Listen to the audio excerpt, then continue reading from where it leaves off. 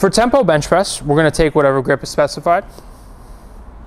We're gonna get set up just as we do with all of our bench press, okay? Using our legs to drive our sternum up to the ceiling, trying to keep our back relaxed. We lock our elbows, we pull the bar out in front of our chest, okay? We're in our starting position now, we set our bum down.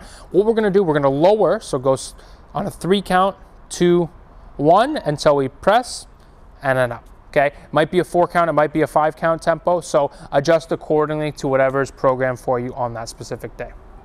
Perfect.